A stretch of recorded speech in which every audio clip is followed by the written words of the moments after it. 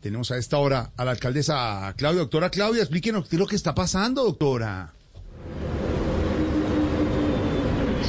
Paradas, calle 146 y. Damas y caballeros, niños y niñas y todos los pasajeros de este fabuloso bus, espero no importunarlos en este momento y aprovecho para agradecer al señor conductor por permitirme dirigirme a ustedes. Señora, permiso. Sí, sí, sí, hermano, pero a ver, a ver, a ver, a ver. Eh, pero qué cosita, mi hermano, ¿eh? Sin manosearme. Buenas tardes, ¿cómo están?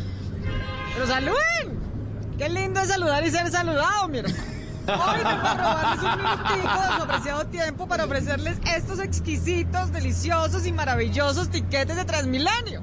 En estos momentos voy a pasar por cada uno de sus puestos para entregarles estos exquisitos, deliciosos y maravillosos tiquetes en Transmilenio. El tiquete no le vale 2.000, tampoco le vale 1.000, le vale 2.650. Con uno prueba, con dos se ceba y con tres para la casa lleva. Querido pasajero, este sistema de transporte podría cambiar su vida y empezar a sentirse una persona más espiritual. Yo, por ejemplo, la primera vez que me subí me sentí tocada, de manera que ustedes se dirán, pero eso que está ofreciendo está muy caro, mi hermano. No es costoso, señores pasajeros. Tienen en cuenta que por utilizar el sistema estarán en una vida más real, ya que no vivirán pegados de sus móviles.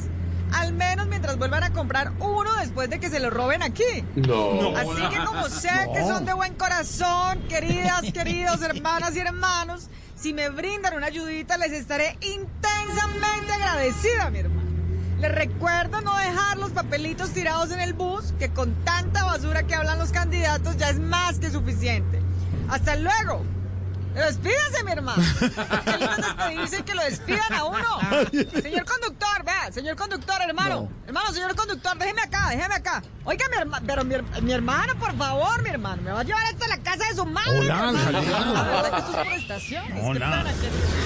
Calle 146.